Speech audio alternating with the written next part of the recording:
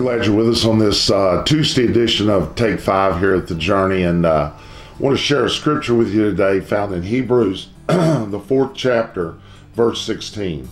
It says, Let us then approach God's throne of grace with confidence, so that we may receive mercy and find grace to help us in our time of need. You know, basically, it's saying if you've made a mistake, you need to come and approach God. There's a couple words in there that I just want to kind of give you a little bit of a definition so you'll understand them. And this is something really, really, really important in your life. Number one is this is is grace.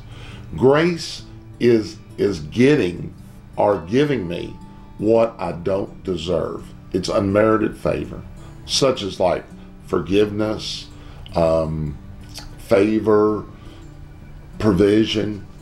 That's what grace is. It's giving us what we don't deserve.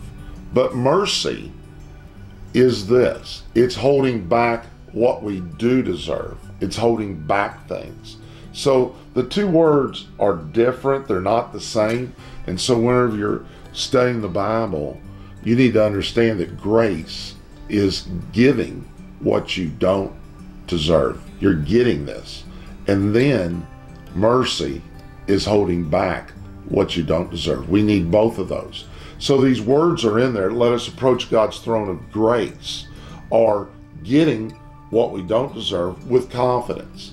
We need to really understand we got to have some confidence in receiving grace. Both of these words, gift and mercy, are gifts. They're gifts unto you. And says, so that we may receive mercy.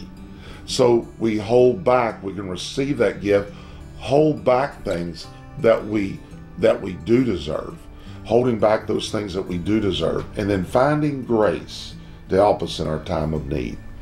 I'm telling you right now, I've had to approach the throne of God many, many, many, many times, and I'll have to have, approach the throne of grace many times in my life because you know what? We all make mistakes. I love you.